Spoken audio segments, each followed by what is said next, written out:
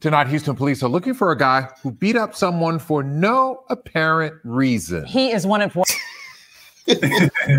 I could think of a few.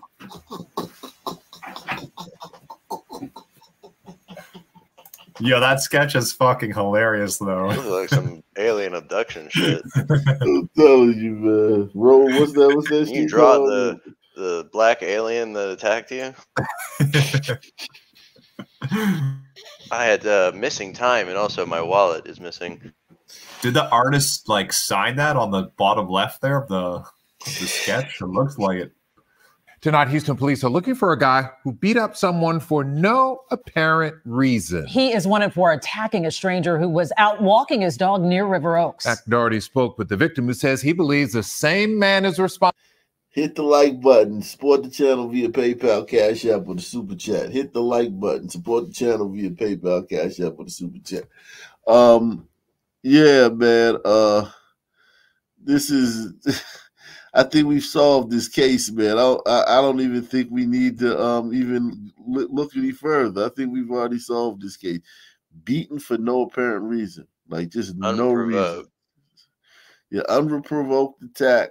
Yeah, we, we solved this case, but I'll I'll watch it through just for you guys in the back. Victim who says he believes the same man is responsible for another attack in the area. Matt? And the man we met with tonight says he was almost killed here on a quiet Saturday morning while walking his dog. Tonight, he and police want this attacker caught. You know, I've lived in this neighborhood 24 years. There is no place safer in my mind than my neighborhood. On Saturday, April 6th at 11:15 in the morning, Greg Odell was walking his dog near the intersection of West Gray and Waugh Drive. Out of the corner of his eye, he saw a man walking toward him. And all of a sudden, he was right next to me and just said, You want to get beat up today? But before Greg could even process the question, And he clocked me. seconds later, Greg was on his back, the attacker straddling him, punching him repeatedly in the face. Greg says he managed to hit the suspect with his cane, get back on his feet, and over to the other side of the street. But the attacker followed him. and he tackled me again. And then he was really enraged and he was bashing my head into the concrete. Oh, While the beating continued, Greg says he prayed, tried to burn the details of the attacker's face into his memory. Oh, I was focused and I was staring at his face because I wanted to be able to memorize it. And so that's what I was Those doing. But you have to have a plan. You don't ever want. What? Yeah, but you can't tell us what he looked like. You're not gonna be like, Face into his memory. Oh, I was focused and I was staring at his face because I wanted to be able to memorize it. And so that's what I was doing. But you have to have a plan. You don't ever want this to happen, but it might. This is a drawing of the suspect based on the description Greg gave to a sketch okay, artist. yeah, maybe. Greg then says it maybe was the help of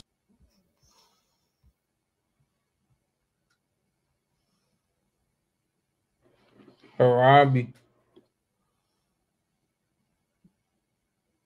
The hair texture, though. I mean, yeah. I'm looking at the features. Yeah, that's a sun nose. Yeah, them sun lips. Yeah, sun eyes. Yeah, yeah, it's not too big. artist. Greg says it was the help of strangers that saved his life. And I tell people the story is one bad guy, five heroes.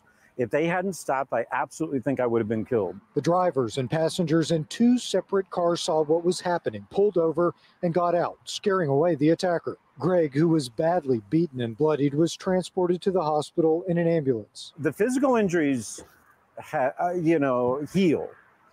This is Zimmerman gonna looked worse longer. than he did. But what pains Greg as much as the physical injuries he endured is the fact that a similar attack happened just one week after he was beaten.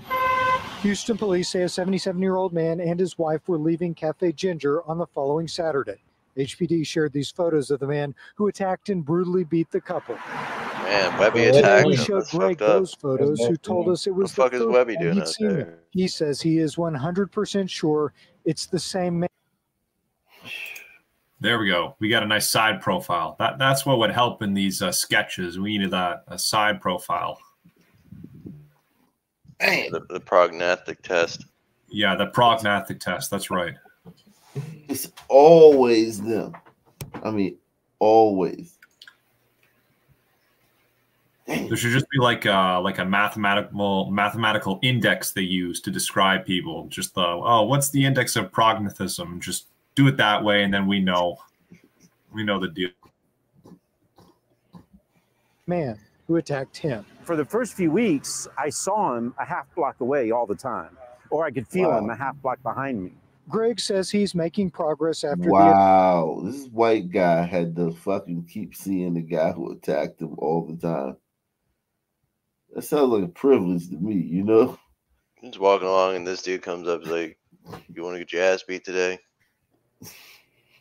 In uh, Houston, Texas, by the way. Uh, Dixie, that is to say. And then proceeds to like literally beat the shit out of you in broad daylight At least he had. a busy road. At least he had manners. He asked him. I know, right? You know, you got to ask. dude- but think about dude, he must have said yeah, because yeah, like you said, if he asked him, dude was you want to get your ass kicked today, dude? Might have, he might have been nervous, like uh uh yeah, like, like nah, I'd have been like, I would have been like, think oh, no, I'm. A- answering period is a yes, basically. Sons don't really like want you to talk. They don't think you should because you're white. So yeah, you say something, you're getting your ass kicked. He, he should have just. I think the reason why he got fucked up so bad, he didn't. He probably didn't happily oblige to the ass whooping. He probably That's was right. Like, uh, nah, bro, I'm good. That nigga was like, what, motherfucker? Nah, he got up. He he he he hit the guy in the head with a still this cane and got up. For a second until the guy tackled him. again. Fighters could eat some hits, man. Kane, that son, man. That's what we need. who attacked him. For the first few weeks, I saw him a half block away all the time, or I could feel him a half block behind me. Greg says he's making progress after the attack, both physically and mentally, but he won't truly be able to rest easy until the suspect is caught. I want to get this guy arrested. I want him off the street. I don't want him to hurt anyone else. Now, today, Houston police were not able to confirm whether they believe that the attacker and both of these are the same suspect. Today, we spoke with security guards who patrol this area. They tell us that they saw that actual suspect just one week ago and they called police. Back to you. Hopefully, they can get him off the streets. An unprovoked attack on a quiet Saturday morning. Glad he's okay. Matt, thank you. Damn.